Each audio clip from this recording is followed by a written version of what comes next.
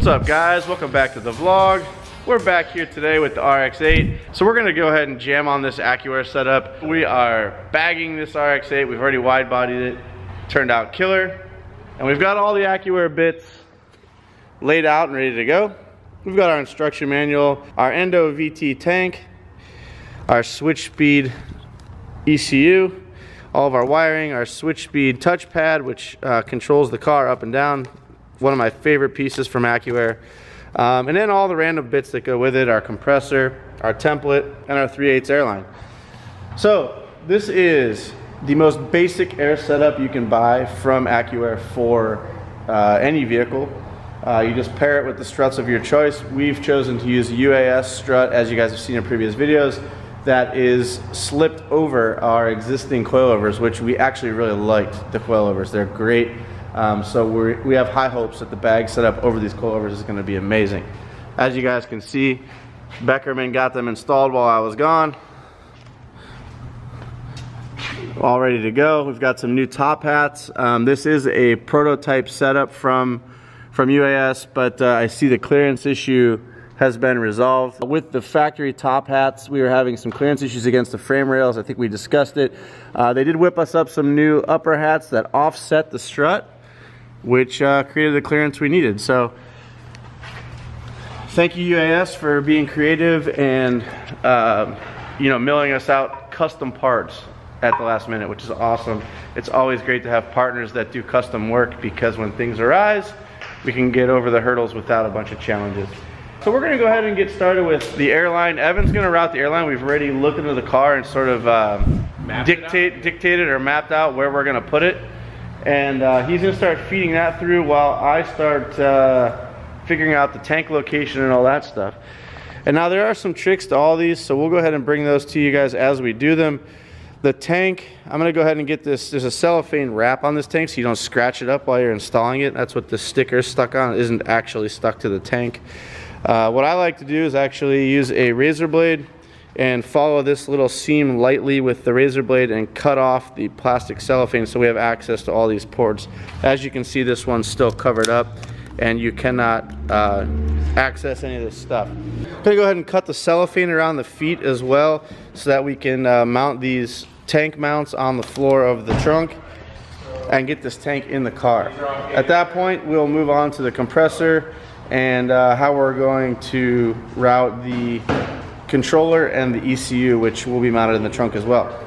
I'm routing the airlines right now like a peasant while Mickey does all the fun stuff. What? I'm just kidding. What I'm doing is not that fun yet. All right, so we're really uh, focused on here is making sure we run the airlines away from any moving parts and also anything that creates heat. So we've kind of mapped it out and I'll show you guys once I get uh, some progress on this um, of where we're going to run the airlines and that will ensure that we don't have you know any leaks or anything like that or any potential issues as far as reliability goes. This is so long.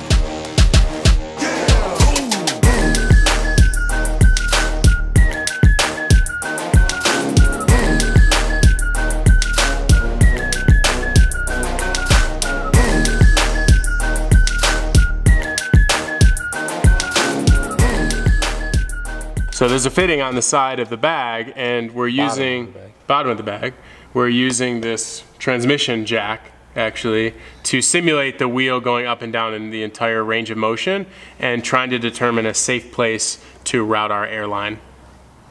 I hope, I'm not sure if above gonna work. Well, nope, above's not gonna work. Or maybe it will, but all right, that one's in. Whoa, baby.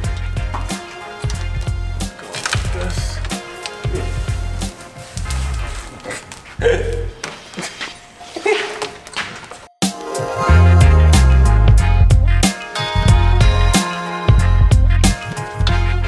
Back it is.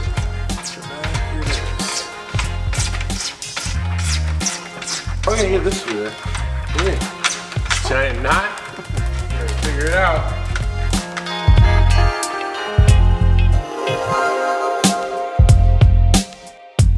essentially, uh, we've got the airline routed from uh, the strut um, kind of through the suspension safely and then through, um, what do you call this? Subframe. Yeah, I guess it is. Yeah, And subframe. subframe brace. The subframe brace, um, it's like, you know, completely protected. It's away from the exhaust. Um, the airline is not in contact or anywhere near this exhaust. And then we're gonna route it right here, tucked up against uh, the brake line and fuel, fuel lines, uh, brake lines actually. Yeah, fuel lines right here.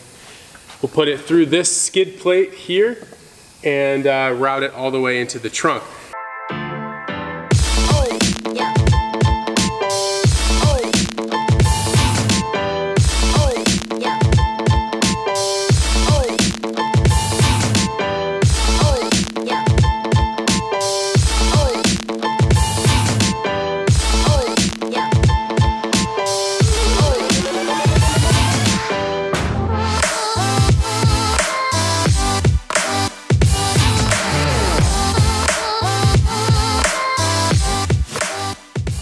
When you get to this point where you're about three quarters of the way back through the car, but you haven't really sorted out where you're gonna run through the chassis and up to the tank, what I like to do is actually cut this off pretty long. You wanna leave yourself a bunch extra, that way if you have to go up and over something or you change something at the last minute, you have enough here that you don't have to reroute this whole line.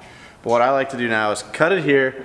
I know I've got enough line to get to where I gotta get, but this allows me to then start routing the other front one where I can start routing these together. From my experience, this is the easiest way to do it. Cut it along here, start routing the driver's side line along with the passenger side line, get them all zip tied, buttoned up kind of where you want them. And then you, uh, at that point, can make your holes in the chassis so that you can mount your bulkheads and uh, run the lines to the tank where your tank's gonna be placed.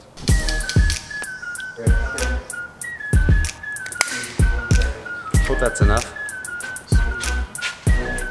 Really want to make sure that your airline is cut with a nice 90 degree uh, cut on it, no rough edges or anything, because this can uh, create leaks down the line. Usually when you're sizing these up, when you do make this cut, it's usually, you never really take it out and recut it. So uh, you guys saw I use a little like cigar cutter or hose cutter for that. It does ensure that we've got a nice smooth 90 degree cut. So I'm gonna go ahead and push this in the strut, which could potentially be the final time, as long as we don't have any leaks. We're gonna go ahead and uh, loosely zip tie our line into place where we're planning to route it. That way we know that when we pull on the line, we're not pulling away our slack. That was pretty simple. Zip tie the front lines together here, basically at our, what is essentially our fuel line uh, routing area.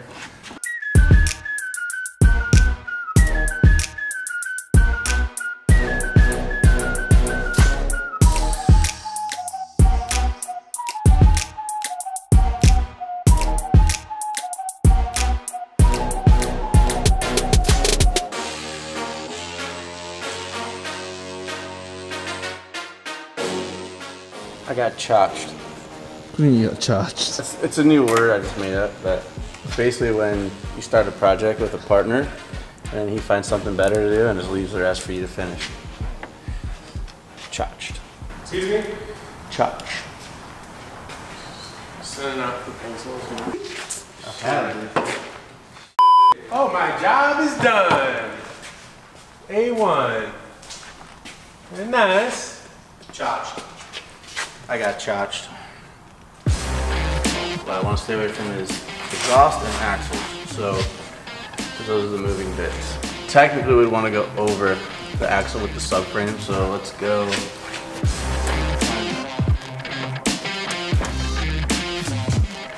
I'm not sure why I close my eyes to do stuff like this. It's like I'm You're channeling my inner blind man.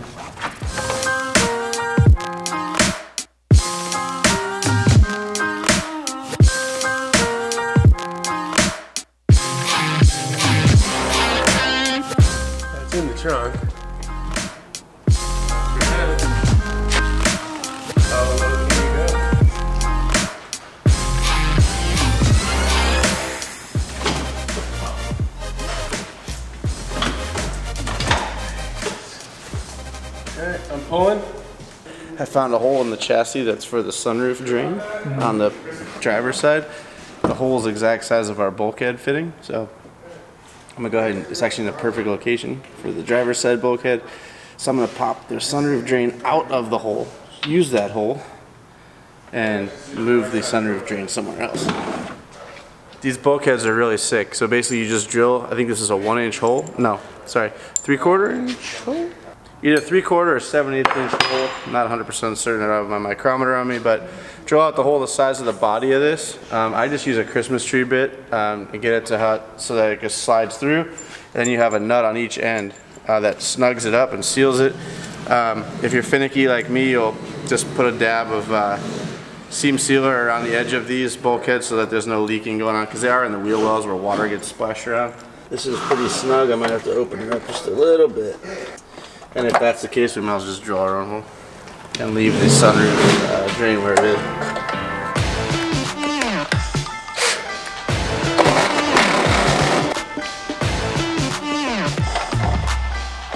Like a glove.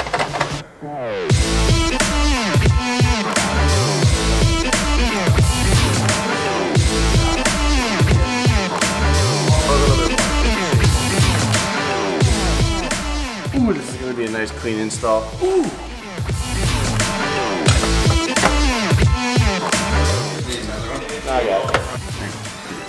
That's good. I got it. Tight enough. Thank you. I didn't want Rick to know that I sanded down his one inch wrench. The bulkhead is now um, mounted inside the trunk on the driver's side, so now we just need to connect the dots. So the strut to the bulkhead, and the bulkhead will get a line on the other side of it inside the trunk from the bulkhead to the air tank once it's installed. I'm just gonna go ahead and make the strut to the bulkhead uh, connection right now. Nice square cut. AccuAir provided these uh, little 90 degree fittings, which are pretty cool. So this presses into the bulkhead and your airline goes into here. So you have a 90 degree instead of trying to, to uh, put tension on a hose into the fitting, which will eventually leak. Uh, you also have to make sure you don't put tension on these because these also have the uh, potential to leak as well.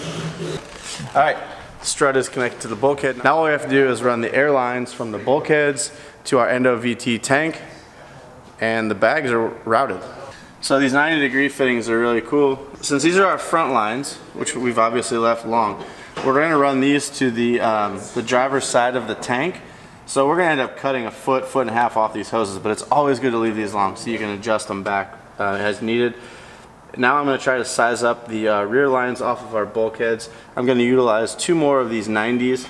I'm running out of these. Hopefully we don't need them on the tank. Uh, these really help get the, the hoses out of the bulkheads in a nice clean fashion. You can route them along the chassis behind uh, what we'll be putting in when we're done is the uh, you know the carpet uh, covering that goes in here. So when this is all done, you're not going to see any of this. So you're just going to see a tank sitting here and a compressor, which is pretty cool. A few minutes later. All right, so I've routed our driver's side airline along across the back bulkhead of the car um, and went ahead and zip tied the airline up to the existing chassis harness in here um, so that it doesn't vibrate around and rattle and those things. And it runs over here to our passenger side bulkhead where I've actually zip tied it also to um, our other rear line. Um, but you have to be a little cautious with this method because you don't want to put undue stress on this 90 that I showed you guys earlier. Uh, because if you do, if the other line starts to sort of kink that, it will create a leak at this fitting, and that's the last thing you want in an air system is a leak. So uh, what I've done is I've actually over zip tied it. I've got three zip ties within about a four inch area here. Um, and once these are routed to the tank, uh, they'll be pushed back, creating the appropriate angle for this 90. Uh, I feel really good about this setup. It's going to be super tidy. You're not going to see any of these lines except where they go into the tank. Um, these are our front lines again, left very long. Uh, we're at a point now where we can actually start uh, figuring out how we want to mount this tank. Uh, kind of know where we want it to reside, uh, but where it's actually going to sit front to back in relation to um, the trunk is important because with this car, the struts mount right basically kind of where I want to put the tank. If we ever have to service the struts, the, the air tank's going to have to come out. That's kind of a pain in the butt. So I might want to offset the tank a little further forward if we can to create clearance to reach those struts and all the bolts that fasten them in. All right, so I've removed the, uh, the clear protection that AccuAir puts on here so the tank doesn't get scratched up in shipping. I like to leave it on the majority. I like to leave the plastic on the majority of the tank, just to cut the caps off. That way we can access the, uh, the valve and uh, power stuff, and then also the feet, because these feet come off, they'll need to be mounted on a piece of wood. So you undo these set screws on the end of these feet, that's what locks these feet into place. So we mount these uh, using the template that AccuAir provides on our MDF board or on the chassis pan.